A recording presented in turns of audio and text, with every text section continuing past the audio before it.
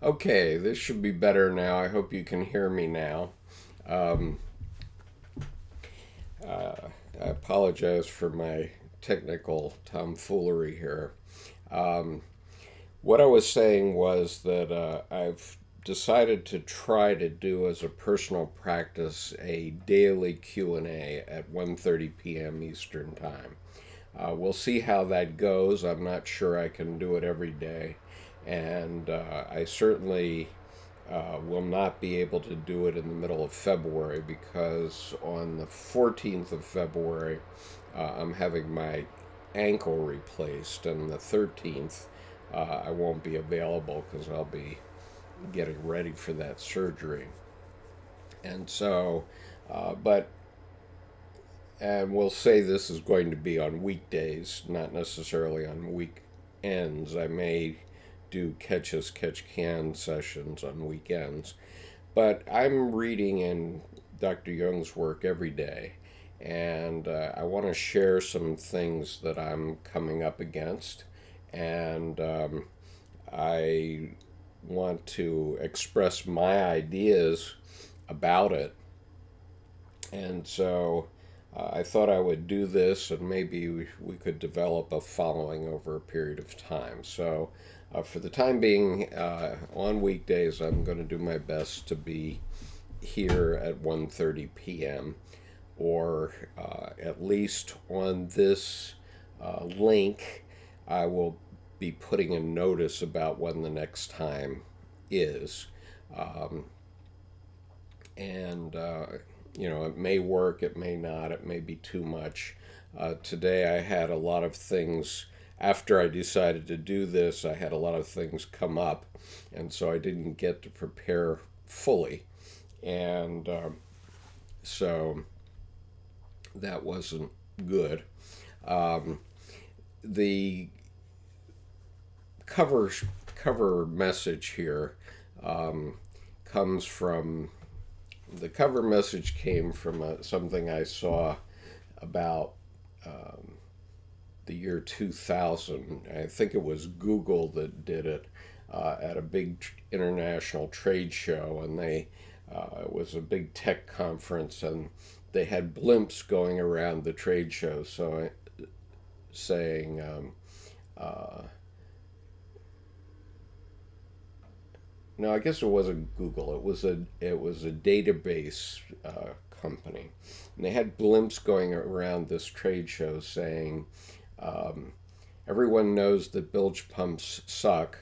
Uh, what most people don't know is that most database programs operate in the same fashion. Thought that was a pretty good one. Um, and uh, I don't know if they've improved that much. I've been using databases for a long, long time. Um, but they're certainly better than they were in 2000. But in any case, uh, the reason this came to mind today was that uh, Senator Joe Manchin, in connection with something that was happening politically today in the United States, um, was talking about how Washington sucks. And what I wanted to first explain is that everything sucks, actually. Um, because uh, if you look around your room, uh, today and look at all the items, with the exception of possibly uh, living plants, uh, but including fake plants. Um, everything that you can see, you can probably also think of a way of improving. And so, in that sense, uh, all of us can imagine a better something for everything that we look at in our room. And that includes the people. Obviously, all of us can improve somewhat, but, uh, but everything came from the human imagination. And so everything that's manifest in this room, uh, in my room, for example, like I have my glass of water, well, this glass was first designed by someone and then uh, they had to design a tool that would produce that glass. And obviously, the design could have been an infinite number of other possibilities, but uh, we don't have to go into those. But the idea is that everything that's manifest came from the human psyche, and everything that um, is manifest well okay everything came from the human psyche and uh, that includes civilization. And so we need to be a little bit understanding but then obviously in the united states uh, we have this huge national neurosis between the republican and democratic parties and it's gotten worse and we've been going back and forth and so I thought it would be useful to talk about um,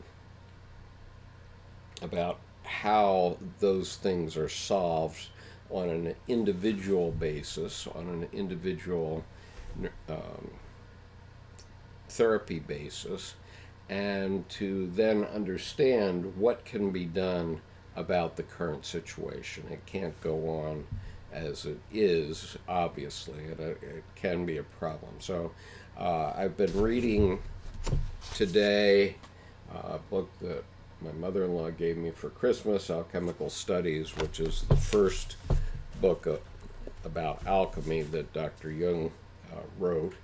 And um,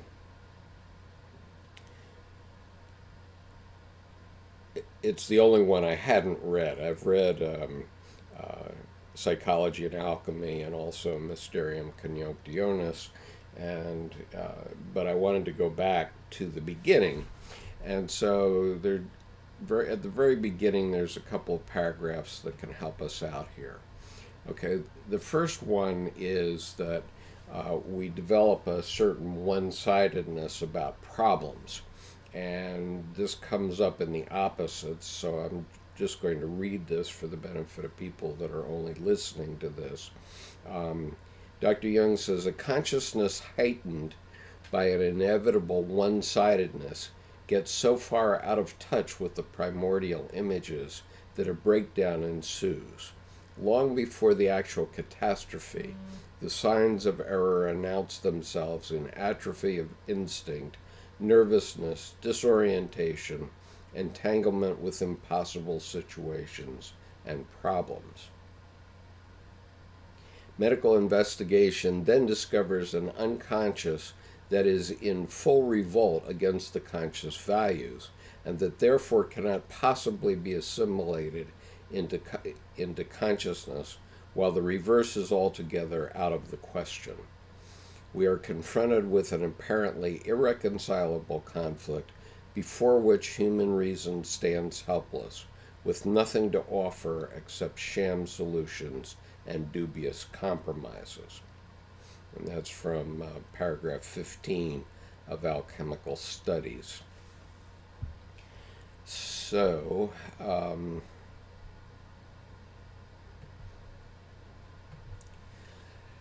so uh, that's what we have. We have this um,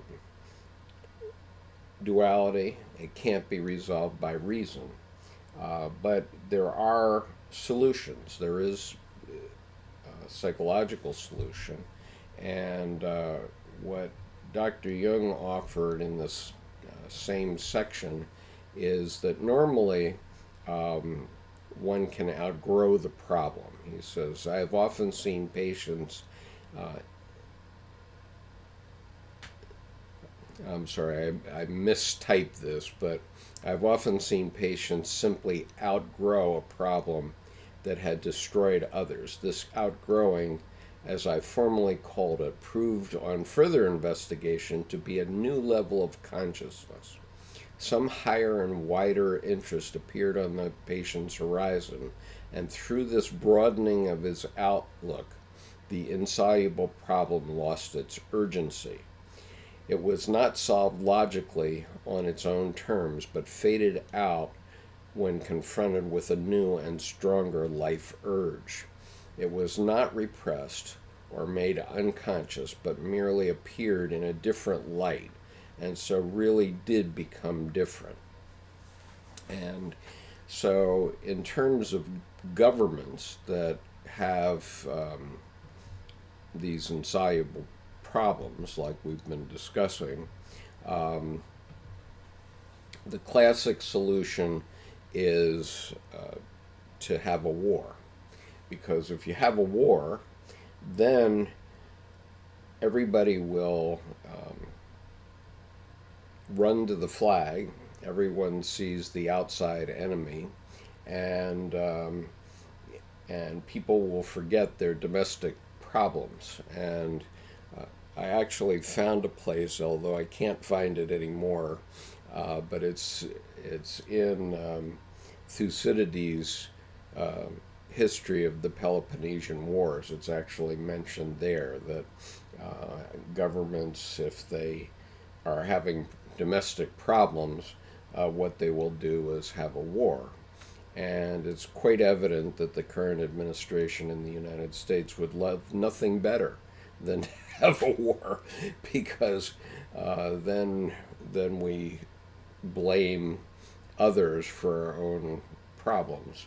And um, so he's certainly been trying to cook up something in Korea, and uh, there's evidence that he would also like to have a war with Iran. Either one would serve the purpose. Um, and so, what we need is this new level of consciousness. And um, it's not going to be solved by uh, just piling more stuff in either the Republican or the Democratic basket. I think a lot of people think that, okay, maybe we'll just outweigh the other one by uh, people be more interested in watching M- MSNBC than Fox News or vice versa, and then the scales will um, balance out more in one way or the other way. And as you see, what we have is um, just bouncing back and forth because um, obviously there was an imbalance, uh, this unconscious imbalance before the election in 2016, uh, which is what caused um, the election of Donald Trump in the first place. And then once he was elected, that caused an immediate reaction on the other side, which uh, resulted in the Women's March the day after his election and, and more disruption uh, since then. And so uh, the question is how can this be resolved?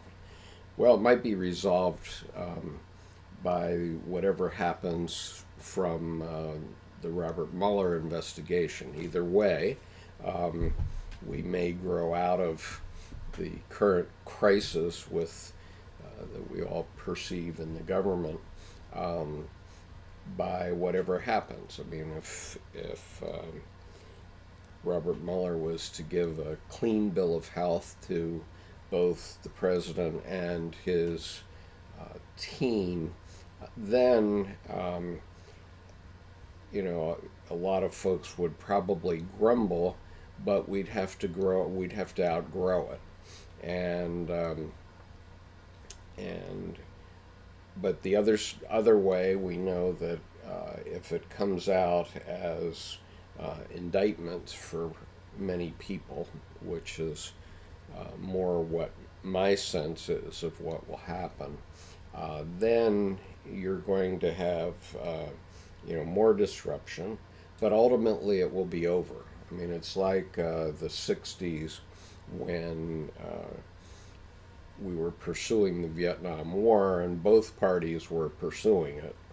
We'll not kid ourselves because it actually started, the Vietnam War actually started in the, in the 50s, uh, right after uh, the French lost Vietnam the after Dien Bien Phu in 1954, then um, the U.S. started to pick up the cudgels on this imagined uh, idea that there would be uh, dominoes falling to communism in Southeast Asia, and therefore we had to fight back.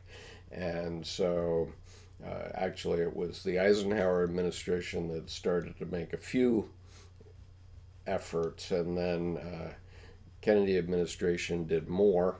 Um, certainly, I can attest to that because I was uh, in Japan, uh, living near the the headquarters of the Seventh Fleet, um, and one day in the summer of 1962, uh, my father, now this is 1962, mind you, uh, my father took me down to the pier in Yokosuka on the Navy base there and pointed out a line of ships going out of Tokyo Harbor uh, or, and um, out of Tokyo Bay. And he said, See that? And I said, Yeah, Dad. He says, That's the Marines. They're going to Vietnam. He said, Everyone who is in the military has either been to Vietnam, is there now, or is going there. And he, my father was a commander in the Navy at the time and had been to Vietnam as part of his duties from Japan. And uh, fortunately, only on a, a short stay of three weeks. Uh, but he made that comment to me. I, so I said, Why, Dad? And he said, Because the generals and the admirals need a war in order to make uh, promotions. I said, "Oh, okay. well, that's the that's the perception of a military guy." Um, but anyway, um, what Dr. Jung pointed out is that we can rise above these things, but we can't rise above them if we if someone um, starts a war. Okay, if they start a war, then the American people will pull together, and uh, we'll all be one thing for a short period of time for the duration of the war, and we can all hope that we would survive such a situation.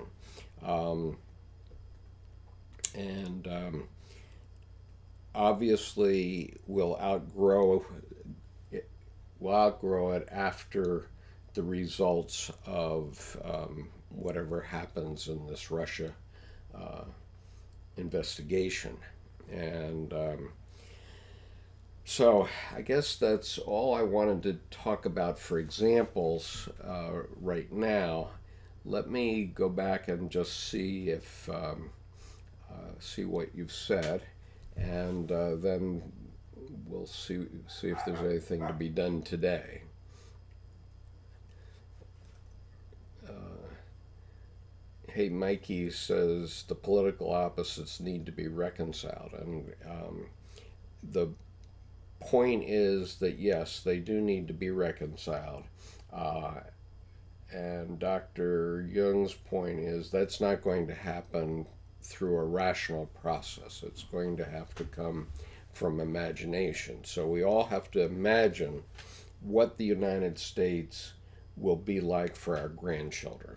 Okay, um, you know, people that have a racist attitude in the United States, for example, um, you know that that can't be right because, um, among other things, I mean, just in self interest for those people, um, people of color are going to be the majority in this country by the year 2050, maybe earlier.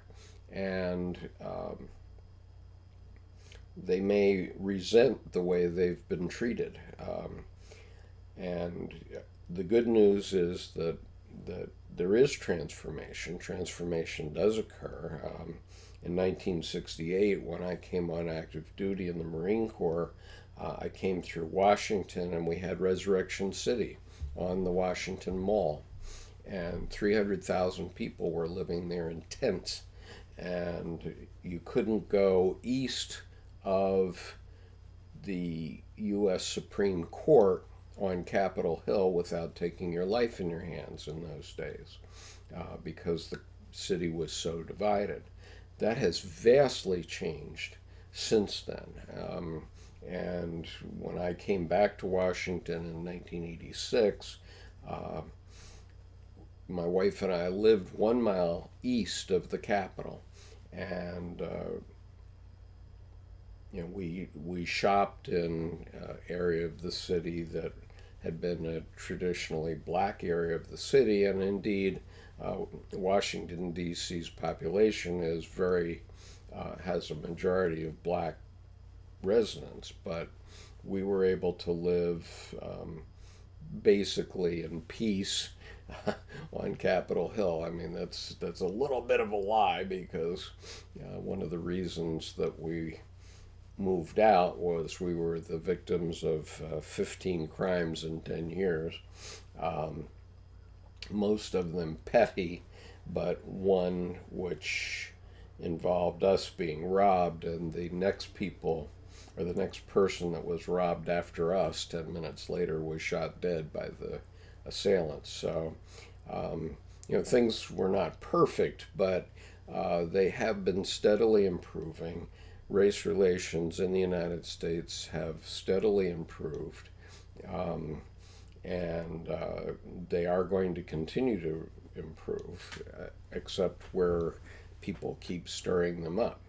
Okay. Um, So Mike Miles says, I think the life urge for something higher manifests in our unconscious, and we are hearing it whisper, guides us to make decisions that at the moment seem to be bad decisions. What do you think? Um, I think that that's largely true. I mean, the self, whether it's the individual self for our individual lives or our national self in terms of uh, uh, what is manifesting in our country uh, is something that it's that is emerging, and I think in the United States. I mean, I came home uh, from my session on Monday night, and my wife was in tears from. Uh, what she had been watching on television about the developments of that day in the administration. And uh, uh, she, my wife isn't a very teary kind of woman, and so it's it's very painful for me to see her in that way. But um, obviously, something new has to emerge. Humpty Dumpty has uh, fallen and is is in shards off the wall, and we're not going to be able to put the country back together the way it was. And so something new has to emerge, and that has to emerge in the imagination of the American people. And I think it's being forced to uh, emerge. I think it's very painful right now. It emerges through bad decisions and good decisions. I mean, as Winston Churchill once said, Americans always make the right decision after trying everything else. And so obviously there was a neurosis long before the election of 2016. Uh, and it the eruption that Dr. Jung was talking about in this uh, slide, I mean, I'll put it up again just so you can see it. Um, the eruption that um, blew up as a result of that um, is has now already had a big swing back in terms of um, the our consciousness about it and and saying whoa that's not what I wanted when we got the president. I mean people expect the president of the United States to be interested in the welfare of all Americans, and instead we have a man that seems to be interested, only has self interest. And um, that is very troubling to a lot of Americans at a very deep level.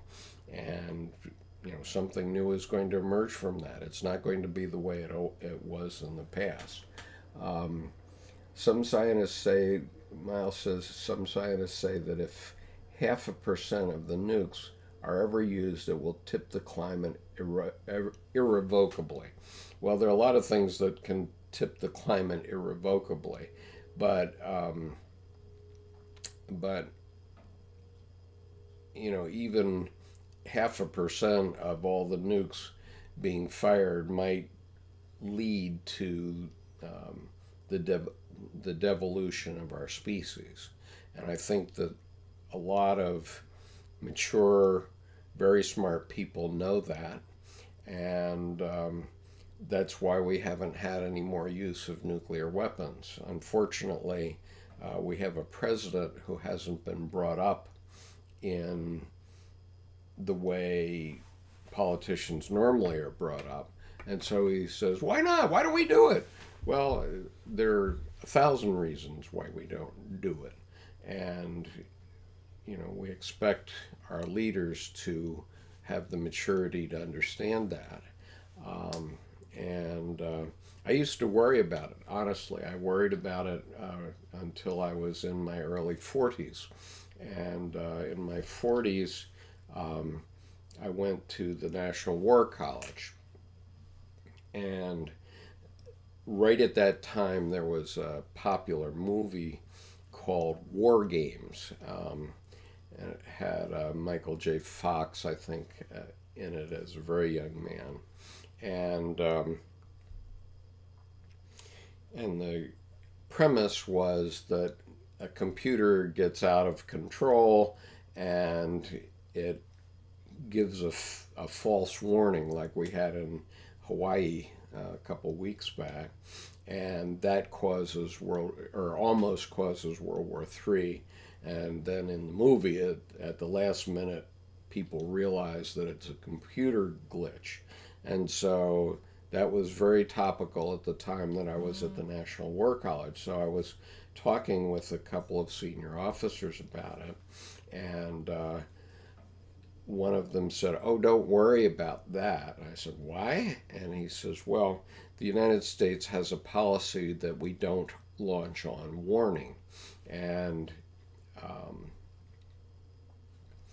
I said, Well, what does that mean? And he says, Well, we would we would not use nuclear weapons unless there were nuclear explosions in the United States. If there were nuclear explosions in the United States and we had been attacked with them, then we would use them, but not because of a threat.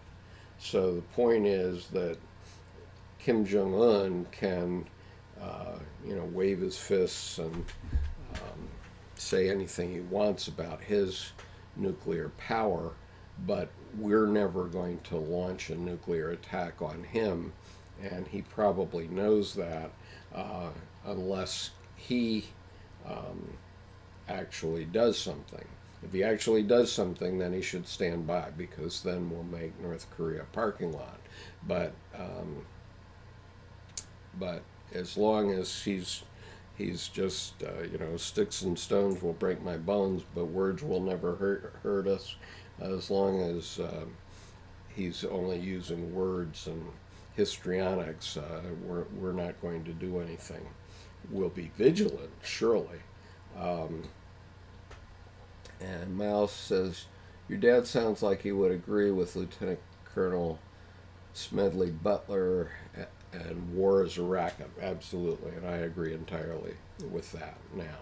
And um, I've been carrying a U.S. military ID card since I was 10 years old. And so that's now 61 years.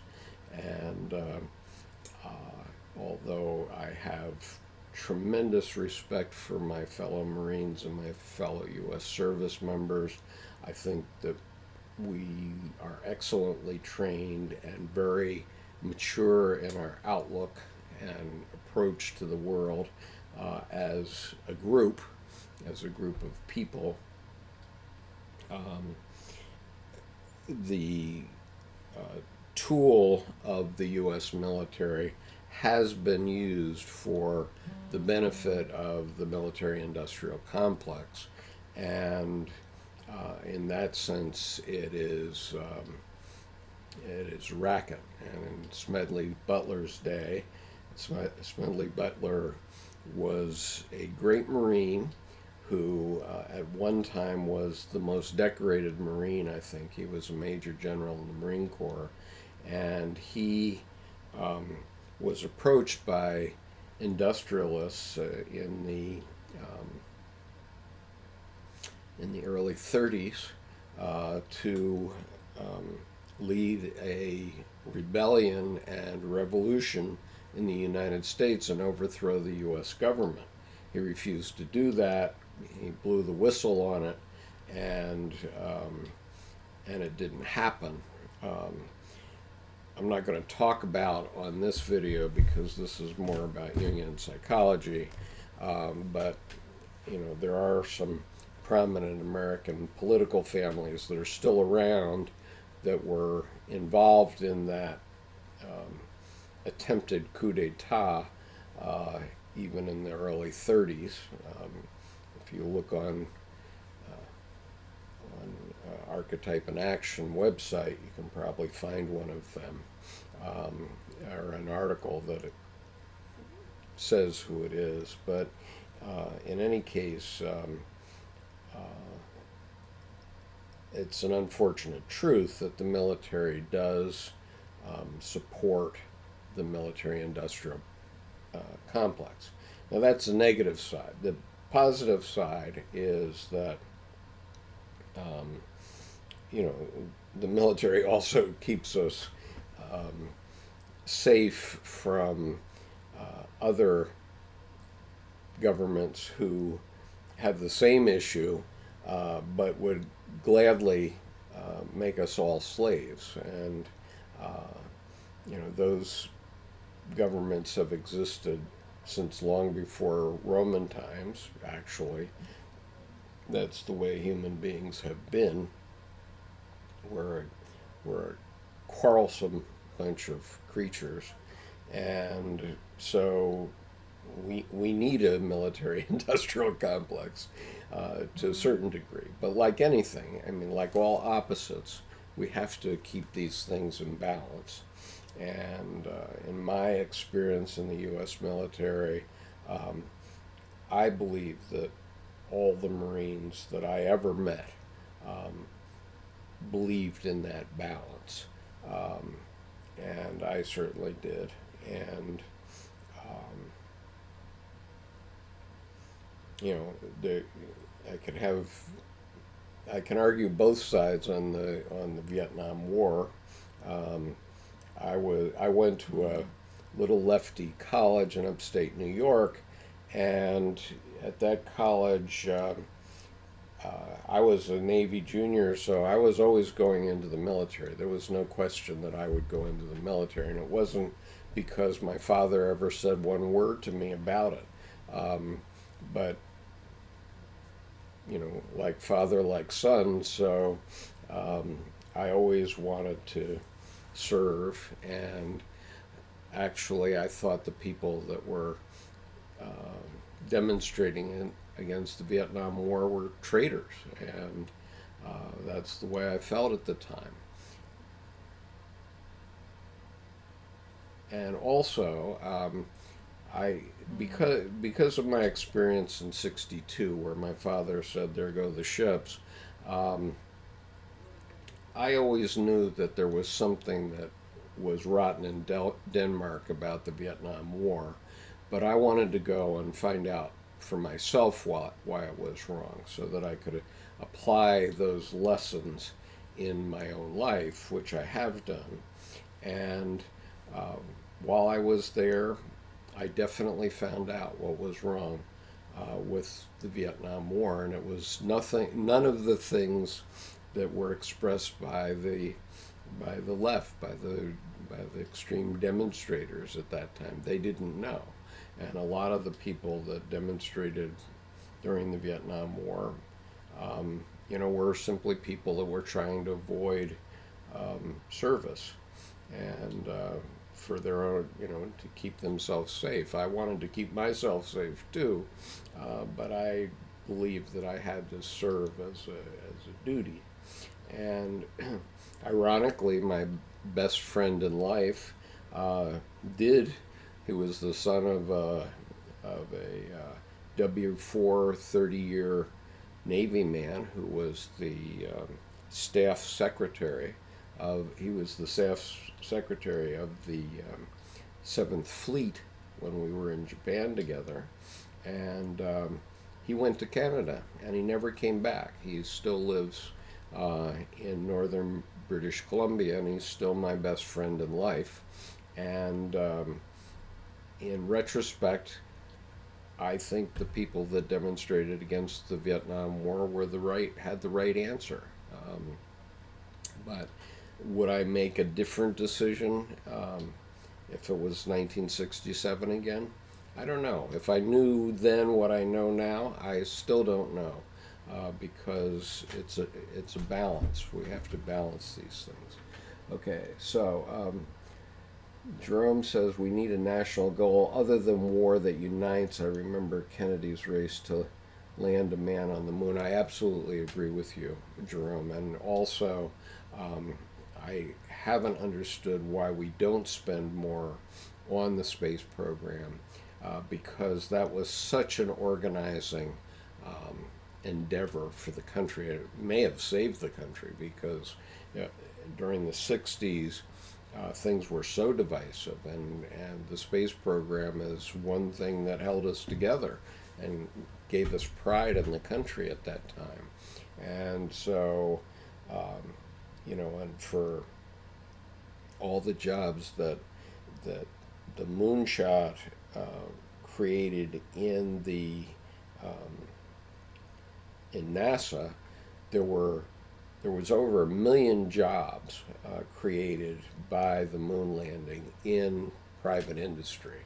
And you have to appreciate private industry in order to understand the power of something like that.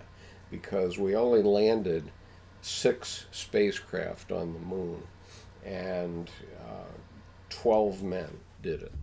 And yet, uh, it just created huge industries. It, it advanced our uh, computer, our software programming, our computer hardware manufacture, everything that that uh, developed out of American industry in the '60s um, is still with us, and it we're still the strongest country in the world on most of those things. Um, and, you know, yes, China manufactures iPhones, but they didn't develop iPhones, and um, there's no real sign that they have any innovation that everyone in the world would want. Uh, you know, they they make great iPhones, which is a terrific role in itself in society.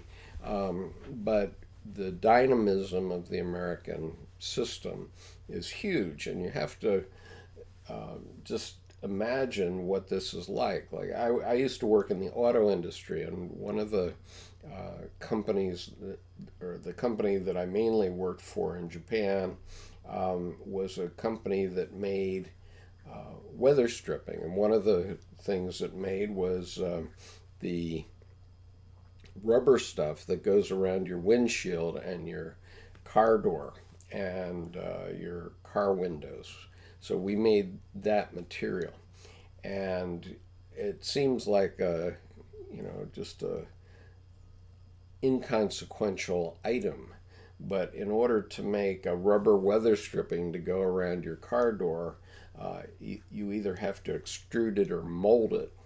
And the factories that we had to have just to produce those we had 16 factories in the United States and abroad. Um, and um, of those factories, um, they were huge. I mean, they're 400 feet long and, and 100 feet wide, and they have these huge Banbury mixers that create, that make the rubber that goes through the extruding machine or into the mold. And, and they employed a lot of people. And so you just, when you drive your automobile, you just cannot appreciate the tens of thousands of people that were involved in building that device that you're driving. It's just phenomenal. And so I entirely agree that we need a new moonshot. Uh, okay, Miles says your study of Jung has helped you be a, to be a better person as well as a better lawyer. What do you think? Um, well, I don't think it made me a better lawyer because I actually gave up the formal practice of law in 1979, except for my own personal issues. And um, someday I'll talk about those, but I'm I can't do it right now. Um, but uh, I actually detest the practice of law, to be very honest. And um, you know, this is something that we have to do better in uh, identifying the people that are suited for different professions. Uh, because I loved the challenge of going to law school. It was very uh, logical, thinking oriented. And so I loved going to law school. Once I practiced law, and I did it for five years, uh, from 1975 to 1980, um, I absolutely detested it, and I knew it very soon. I uh, I started to go to business school in my third year of practicing law, and as soon as I had my MBA, I had I took my job and went to Japan to run a company, and um, it was at a time when um, uh, Congressman Gephardt um, was talking about Japanese non-tariff barriers and how unfair they were. And, you know, I got to Japan and I didn't think they were unfair at all, and I never met a non-tariff barrier I didn't like. and I actually started um, about 200 different product lines in five years in four different industries. And I created two manufacturing facilities in the Tokyo region, in addition to uh, supporting a manufacturing facility that had been in the company for 10 years before I went to Japan. And um, and so, uh, you know, just proved that Gephardt was wrong. And I remember him, you know, with an axe in front of the U.S. Capitol one day, whacking away at a Japanese television set, for example. And, you know, that wasn't the answer. Um, but we weren't very smart about what we did in those days. We still aren't very smart. Let's hope we can get better gradually. Um, as far as it making me a better person, um, uh, well, I'll leave it for others to judge, but it, in terms of my life and how I feel about it, um, you know, I've been through some tough times. Um, and, um, you know, just going back to, to just my childhood, I, uh, you know, I moved way too many times in my childhood and lived all over the country, traveled through the country. I had been across the country uh, twice in an automobile before I was five years old, and or before I was six years old, let's say, and um, I had lived in Kodiak, Alaska in 1952 and 53, um, back when it wasn't the posh Coast Guard base it is today. I, actually, I wouldn't say it's posh even today, but in those days it was. Uh, we lived uh, for the first four months in a skid shack that was used by ice fishermen. So it was a, a shack that was on skids, and you could tow it around. And it had three small rooms, and the only heat in it was a kerosene heater in the living room. And so, you know, I've been through some very tough times over the, over the years in different ways. Obviously, if you go to war, and you're going into battle, you're facing the possibility of your instant death. And it happened to my roommate from the basic school. He uh, was he literally had his head blown off by the uh, Viet Cong about five months after we graduated from the basic school as second lieutenants. And um, so when you're looking death in the eye, there you know there's a lot of stress. And fortunately for me, at some point in this process, I started to learn about Dr. Jung, and anyway, since 1990, especially, I started to really study it in 87. But in 1990, I got Man and His Symbols, and I read it to my wife for a year uh, at night as we were going to sleep, three or four pages a night. And at the end of the year, I felt like I had had a year of psychotherapy. And these days, um, I always have a Jung book quite close to me.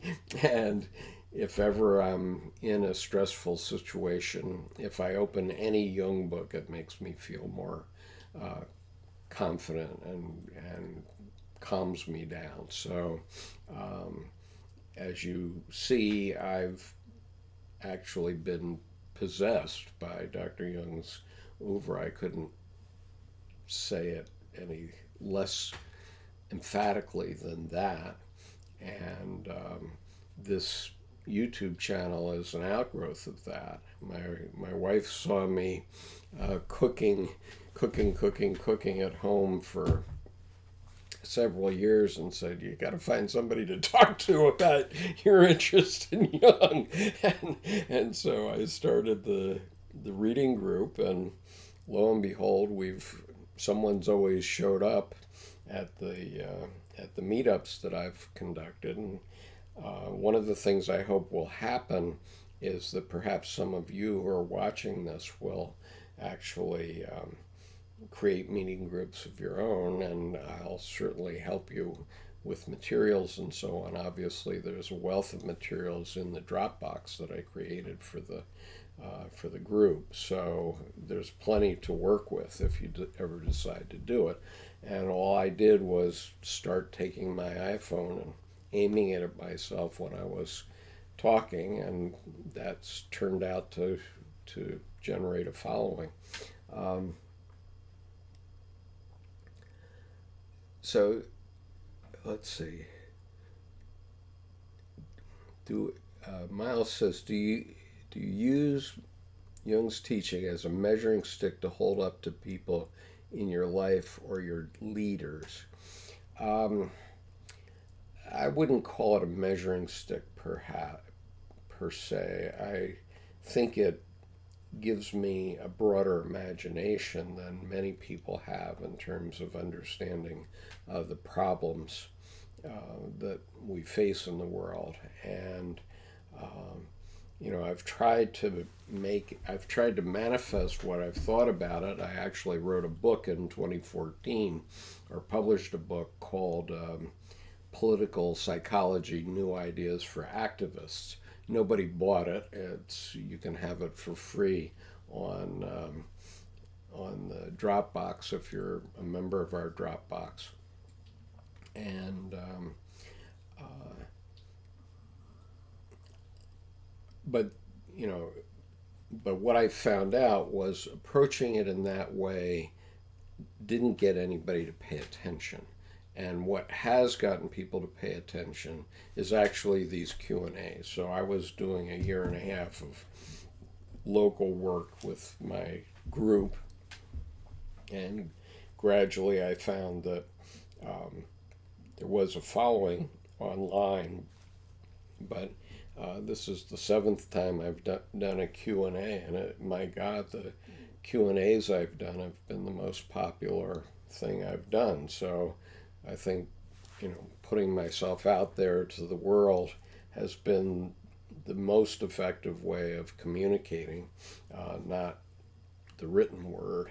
And so I plan to do more of it. As I said earlier, um, I would um, try to do it every day. I don't know if I can, but we'll we'll see. It'll it'll be an aspiration, and I'll leave a message on this link uh, when I think it can and can't be.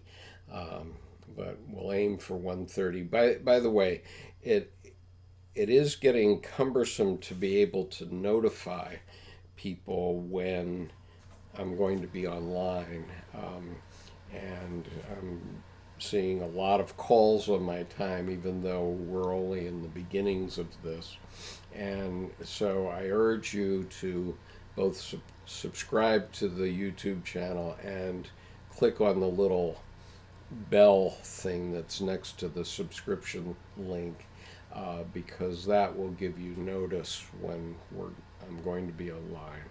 And I'll try to leave on the image on that page a notice about when the next time will be, um, at least a few hours before I go online. Um, let's see, Miles, sorry, I was thinking you are sitting in your law office right now, all the books and papers, and I guess you mentioned law in a previous webcast. Wow get to hear about your business venture. Well, yeah, I have a lot of stories, Miles. but no, this isn't my law office. This is um, my wife's and my um, study in our home.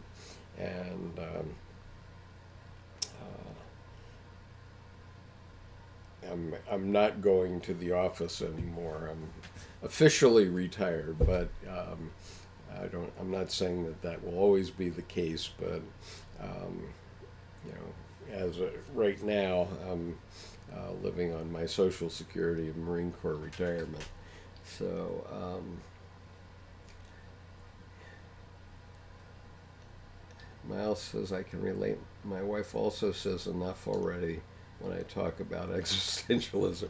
Yeah, we don't have enough uh, people to talk with, and uh, therefore. Uh, some of my group members really uh, rely on the group meeting in order to um, have someone around that they can talk to. And so I, um, you know, I live in a smaller city. I live in Annapolis, Maryland. The population of the city is only 78,000, even though it's the capital of the state of Maryland. Uh, we do have in the county about 600,000, so there are a lot of people around, but close in to where I live, uh, it's a very small community. And yet, uh, I was able to use this system called Meetup dot meetup.com, uh, meetup.com, and uh, I'll put that link into the uh, chat so that you can see it and check it check it out online. Um, it's a great system. It's uh, apparently operating all over the world, and I just you know put up an announcement that I was going to do this um, this session every week, and uh, lo and behold, I had eight people the first time. And uh, interestingly, five of them were psychotherapists who I think were trying to check out the competition. and, and uh, they sort of lost interest when they realized I wasn't trying to be a psychotherapist. And, uh, and I don't. I, because uh, I'm not a psychotherapist, I try to assiduously avoid uh, psychotherapy or dream analysis, anything like that except for my own dreams. Sometimes I'll do that. Um, but, uh, you know, anyway, I think it's a way to attract people who are interested in talking about intellectual issues. And gradually, I think we can make an impact. Um, and so let's see. Um, Jung for Activism, my book on drop sounds interesting. Yeah, it's, anyway, it's there. Uh, just be careful you don't pick up any of my uh, adult material, unless you're interested. But um, just be warned. Uh, the, the uh, political psychology, new ideas for activists. Uh, you know, it contains uh, about 50 of my essays that I wrote over a period of time, uh, mostly about American politics, but I think it offers some wisdom in there. Um, and Jerome says, uh, these these times is an opportunity for individuals to examine how their own shadow may be influencing or blocking higher consciousness development.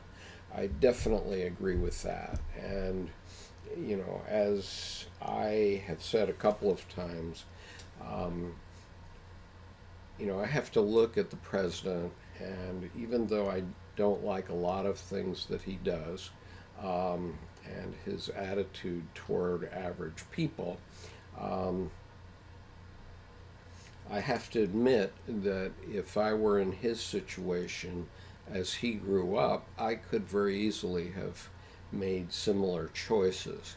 And so I do recognize him as a manifestation of my personal shadow. And um, I recognize the situation politically as a manifestation of our national shadow. Uh, and, you know, you can't fix a problem unless you know you have one. And so, what any way this is produced since the election of 2016 is that we do have a problem. And if we want our grandchildren to live in peace and to respect one another and their fellow Americans, then we do have to um, examine ourselves because where did that all come from? It came from us. Um, so, anyway. Uh, so I guess uh, you know I'm I'm just rambling at the moment. So I'm going to uh, sign off for the moment, and um, I decided to keep it simple today, partially because I ran out of time, and partially because I think if I keep these conversations shorter, um, it'll be more meaningful to everyone.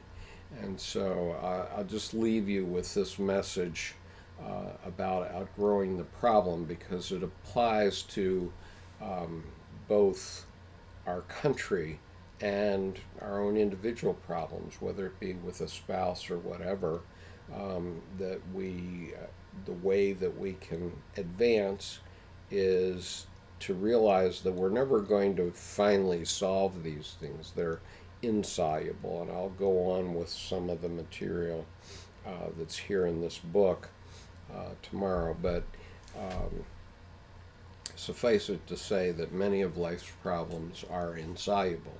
And what keeps us moving is the fact that we live in, in a field of opposites, and that's where our psychic energy comes from. And so maybe I ought to talk about that a little bit again. But um, so, you know, I'll do the insoluble problems of life. Um, so many of them are not solvable, and we just have to grow up and mature and be able to face our problems as adults. And that's our job as adults. Um, so, anyway, um, I seeing no further comment from anyone, I'm going to go ahead and uh, terminate the session now, and uh, I'll talk to you again prob probably tomorrow. I hope so.